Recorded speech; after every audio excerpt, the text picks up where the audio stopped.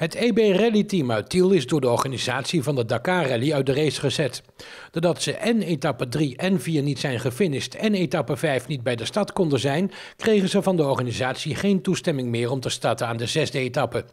Ilko Becker en Sijbrand Boy zijn meerdere keren met hun wagen vast komen te zitten in zandduinen tijdens het moeilijke parcours en konden uiteindelijk niet worden geholpen.